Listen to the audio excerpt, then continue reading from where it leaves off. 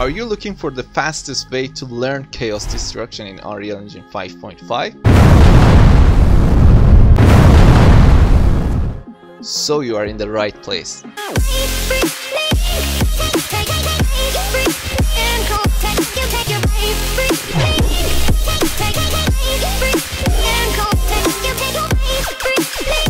Hi everyone, this is Daizen. Welcome to my channel. And as you can see, I'm trying to invite talented people like Aldin with these amazing particle stuff. Wow, that's fabulous.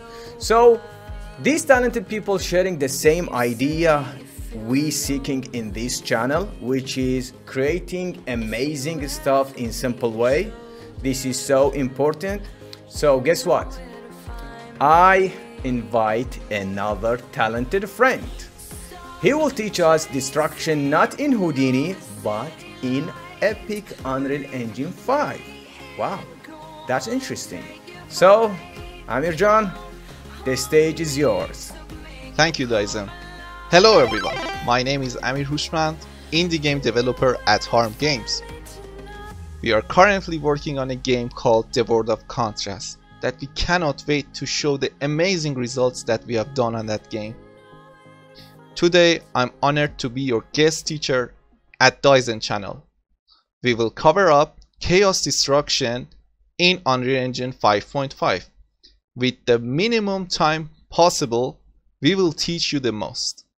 Thank you for staying and let's go to the tutorial. Alright guys, before we begin I have to say I have made this environment. It's a simple wall, it's a simple ground and some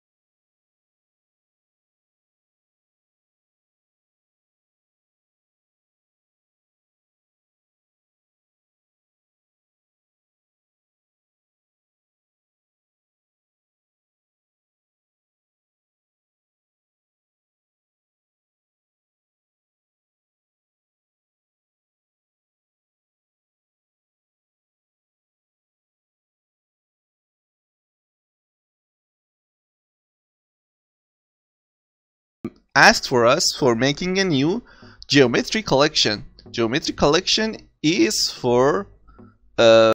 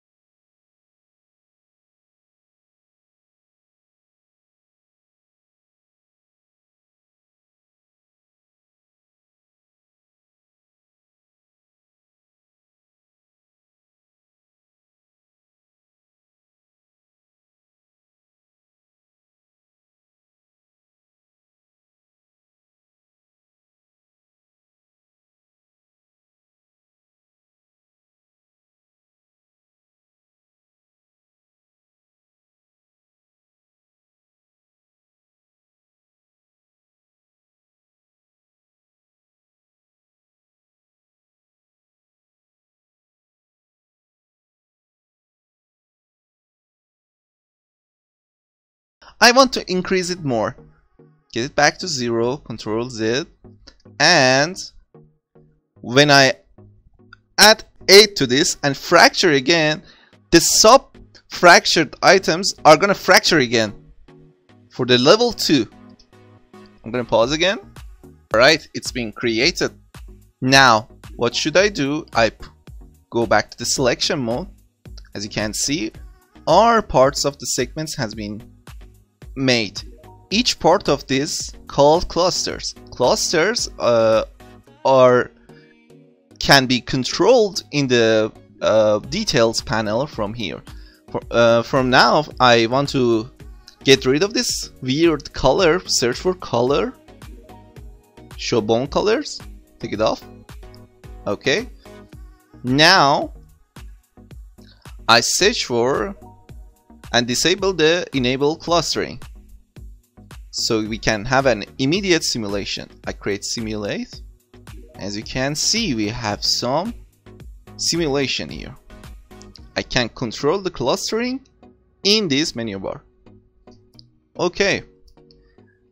Now, we have understood the geometry collection and the clusters that are made. We have something else called fields. How we can add fields? Go select the all.